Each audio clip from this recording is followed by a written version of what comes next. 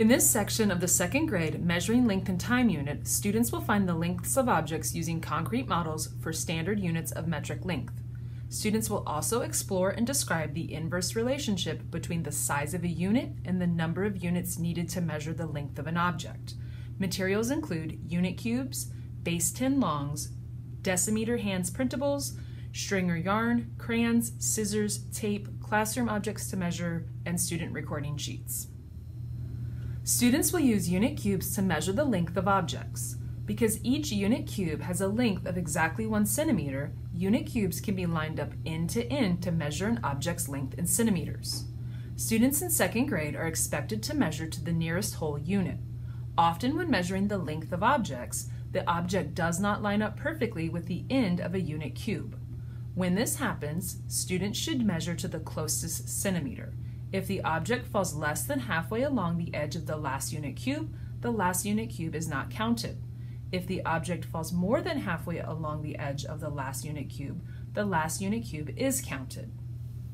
In this example on the crayon, we can see that the end of the crayon falls less than, less than halfway along the edge of this last unit cube, so we're not going to count it.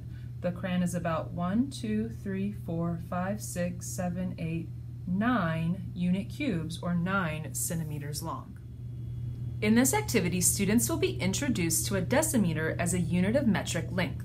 A base 10 long is exactly one decimeter and can be used to measure length, width, height, or distance.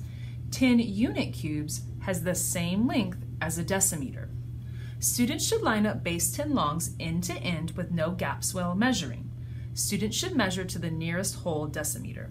In this example, the length of the color pencil box is about 1 2 decimeters. The length is about 2 decimeters.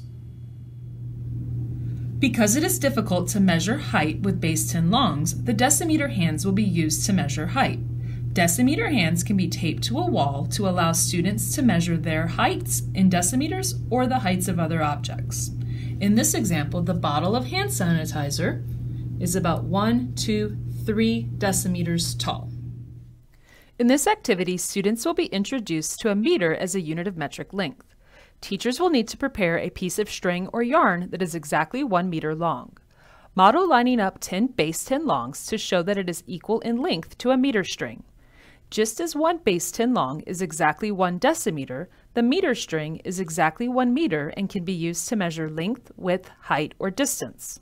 Students should notice that the length of each base 10 long is shorter than a meter string, the length of each meter string is longer than a base 10 long, and it takes 10 base 10 longs lined up end to end to equal the length of a meter string. 10 decimeter hands can also be lined up end to end to equal the length of a meter string. Students should have opportunities to practice measuring length, width, height, or distance using meter strings. Meter string task cards and a recording sheet have been provided.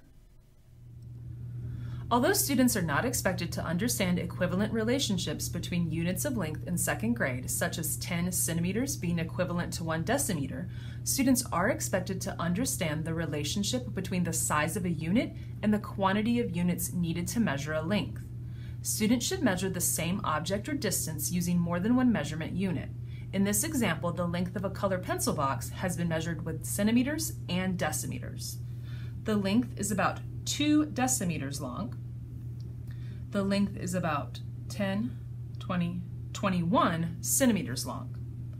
Students should be able to answer questions such as, which unit do you need more of to measure the length and why? Centimeters, because centimeters are shorter than decimeters, so it takes more centimeters to measure the same length. Which unit do you need less of to measure the length? Why? decimeters because decimeters are longer than centimeters, so it takes fewer decimeters to measure the same length. Students should understand that when measuring an object or distance, the shorter the unit of length, the more units will be needed to measure. The longer the unit of length, the fewer units will be needed to measure.